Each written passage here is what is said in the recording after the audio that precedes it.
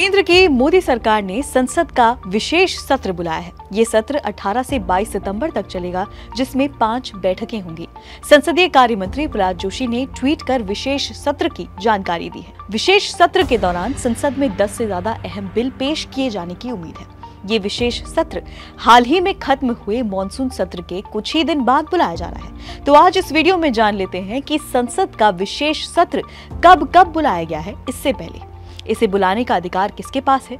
और इसको बुलाने के क्या क्या प्रावधान हैं? और इसकी प्रक्रिया क्या है? नमस्ते, मैं हूँ रिया श्री और आप देख रहे हैं एबीपी लाइव कब कब बुलाया गया है संसद का विशेष सत्र? वैसे ये पहला मौका नहीं है जब सरकार ने संसद का विशेष सत्र बुलाया हो। इससे पहले भी कई बार स्पेशल सेशन आयोजित किए जा चुके हैं। बता दें कि आमतौर पर एक साल में संसद में तीन सत्र आयोजित किए जाते हैं। इनमें बजट सत्र मानसून सत्र और शीतकालीन सत्र शामिल हैं। हालाँकि ज़रूरत पड़ने पर राष्ट्रपति विशेष सत्र बुला सकते हैं।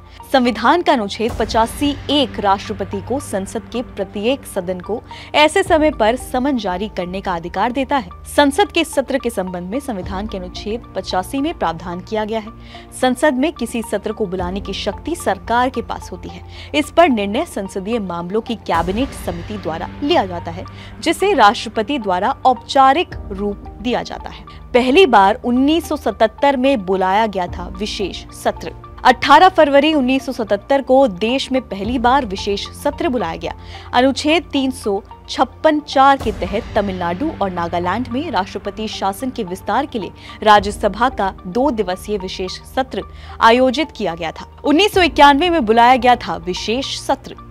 अनुच्छेद तीन सौ छप्पन तीन के प्रावधानों के तहत हरियाणा में राष्ट्रपति शासन की मंजूरी के लिए 3 जून उन्नीस सौ इक्यानवे को राज्यसभा में दो दिवसीय विशेष सत्र आयोजित किया गया था।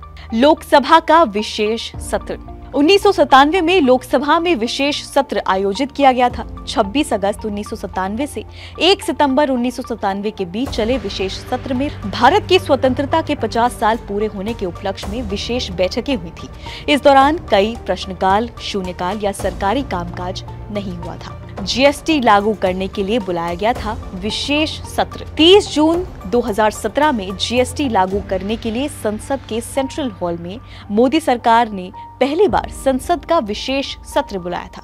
लोकसभा और राज्यसभा दोनों की आधी रात की बैठकें हुई थी, जिसमें सरकार ने गुड्स एंड सर्विसेज़ टैक्स यानी कि जीएसटी को लागू किया था।